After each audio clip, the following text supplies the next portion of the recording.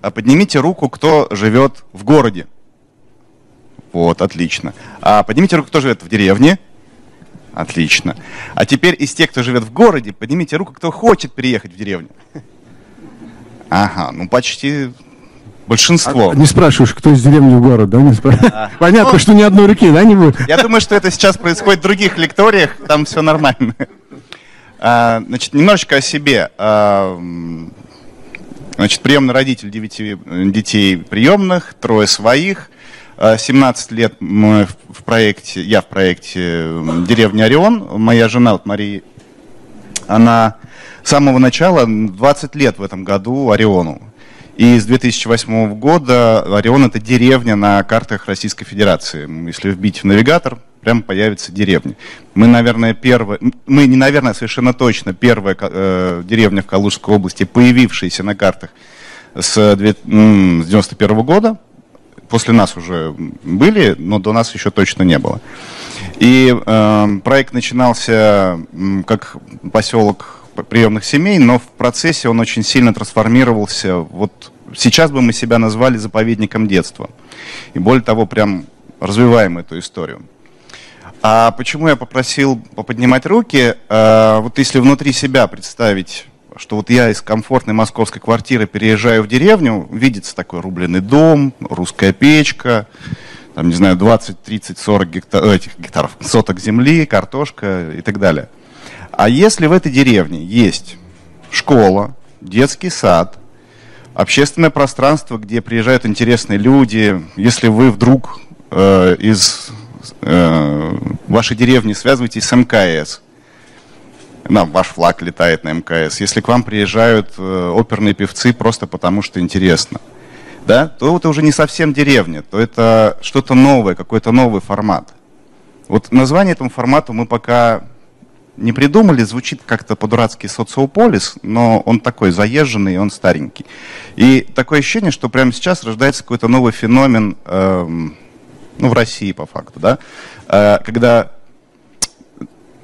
давайте так, немножко исторически. Да, 20 лет назад люди выезжали из деревни в город, потому что было некомфортно, потому что блага на улице, работы практически нет, денег нет, и в городе за тебя очень много чего решается. За эти 30 лет э, технологии очень сильно поменялись. Да? То есть, э, условно говоря, за стоимость 30-квадратной э, студии из МКАДа можно построить 200-квадратный дом со всеми удобствами на 15 сотках. Это с отоплением, водой и канализацией. А транспортная доступность теперь меряется не километрами, а часами. То есть два часа от МКАДа это вполне себе приемлемо. А это уже другая область. Ну, ребята из Смоленской области, знаю, есть, подтвердят. То есть два часа, и вы в другой области. Я из Ярославской тоже подтверждаю. И кажется, что ну чего там два часа, это же почти Москва. Нет, там вот можно осваивать деревни в двух часах от МКАДа. Спокойно. Там особо нету огромного количества желающих это все делать. Не говоря уже там от, о 5-10 часах от МКАДа.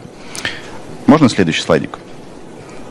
А, вот так сейчас ну, не хватает еще немножечко уголка, это достаточно старая фотография. Вот так сейчас выглядит Орион с высоты птичьего полета. А в центре, вот кругленькая, это наша школа, и за ним такое э, здание. Это старшая э, часть школы, младшая часть школы. Детский сад. Ну и школа, соответственно, является э, таким культурным центром, где все собираются на праздники, мероприятия и прочее. Э, основной э, школа является, естественно, основным работодателем в нашей деревне. А я бы еще раз просто хотел подчеркнуть, да, что это как раз вот в чистом поле возникло да, все, да? да? Ничего не было, была просто группа энтузиастов вместе с Антоном, которые хотели э, построить свою жизнь иначе, вокруг образования собственных там, и приемных детей. Да, 22 года назад на этом поле сидела свекла. Мы согнали свеклу и заехали. А, так, мы возвращаемся к, к этому конструктиву, да? А,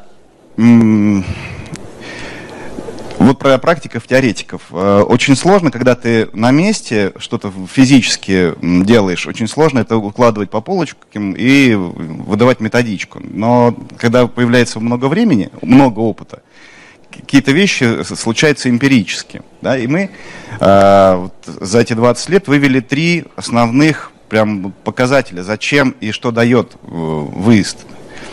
Первое – это добрососедство.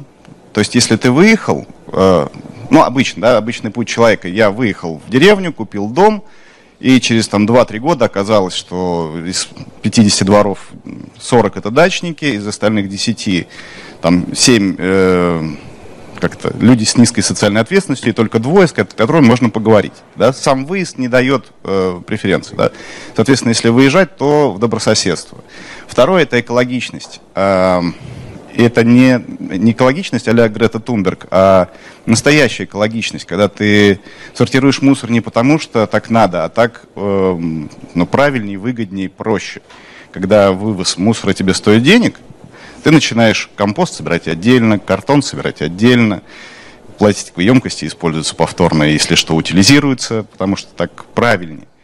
И третье, я забыл. Потом кур, кур, на кур меньше денег надо, да? Да, да. На да. корм курм. И экологичность. Что не доели дети, курам можно. Абсолютно, да.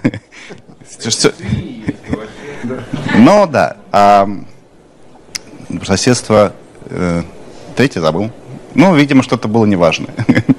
Я думаю, что следующие спикеры... Э, да, давай. Можно дальше, да, следующий? Да, да, да, можно потихонечку их менять раз в, в две минутки, даже меньше. Следующий слайд. Да.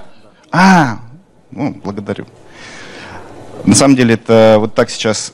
Представляете, вот так вот вышел из дома, и у тебя такая красота. То есть, наверное, третье было это архитектура, потому что просто выехать и в квадратные домики, из одних квадратных домиков выехать в другие квадратные домики бессмысленно. Вот. За, эконом... за экологичностью идет экономичность. А, мы как привыкли, если деревня, то это или сруб, не знаю, пеноблок, какой-нибудь камень, но это все очень долго, дорого и очень сложно топить. И вот прямо сейчас я ехал, и мы сейчас ведем переговоры с одной архитектурной компанией, которая хочет сделать пакетный, э, пакетное предложение сельским школам. И я понял, а почему не сделать прям пакетное предложение села?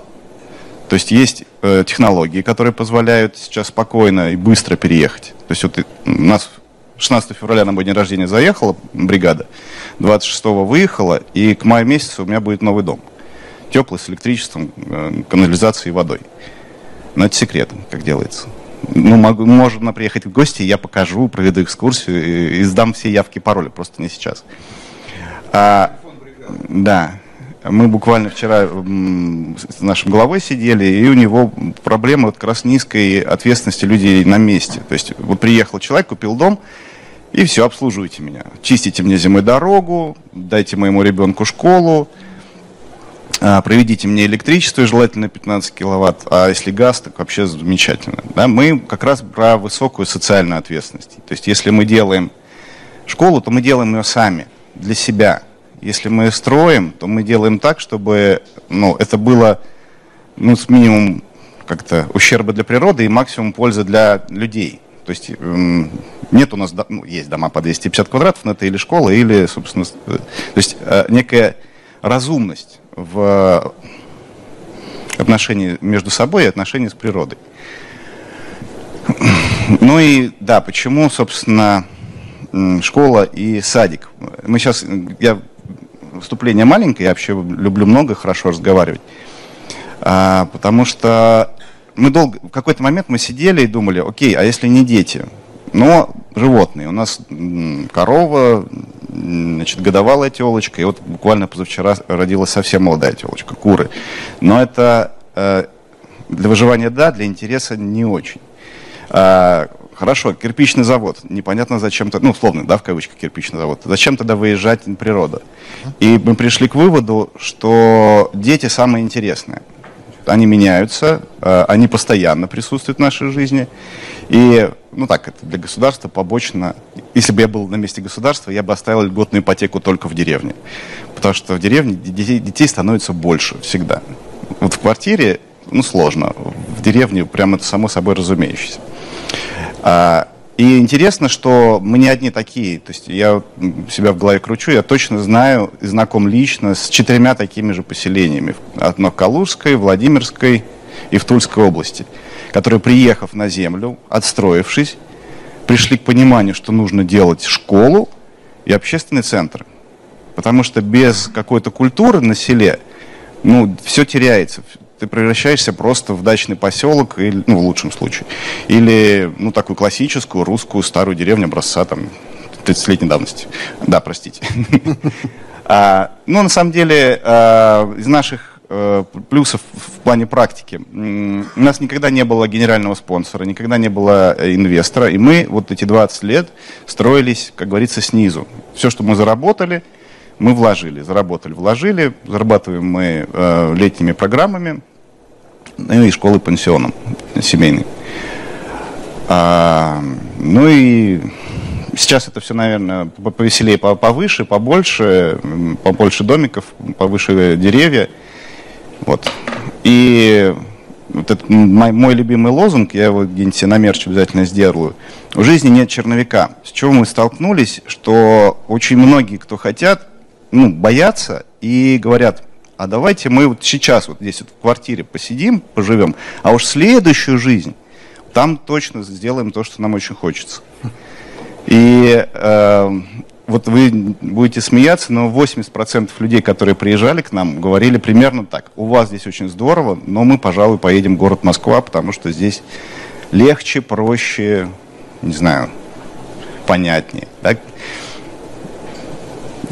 Ну так э, люди просто вообще привыкли действовать стереотипически, это понятно. Вот чем больше будешь выступать, тем больше... Да, я, я понял, что... Изменят свое мнение на этот счет, где надо жить. Я, я уже даже нашел следующий форум, если что. Спасибо.